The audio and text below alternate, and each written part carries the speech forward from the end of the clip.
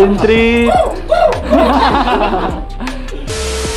I-invite ko nga pala lahat ng nanonood nitong video na to na magpunta kayo dito sa First Imprint Customs, the store located at 186 A Bonifacio Avenue, Barangay Tanyong, Marikina City. Tapos, yun, dito mabibili nyo jerseys, shirts, helmets, balaclavas, lahat ng mga riding gears na available sa amin. Pwede nyo mabili dito as well as ha, uh, products like helmet mounts and uh, yun, helmet holders. So, yun, tignan natin yung montage ni So tara, tignan natin yung montage ni Moto Manila.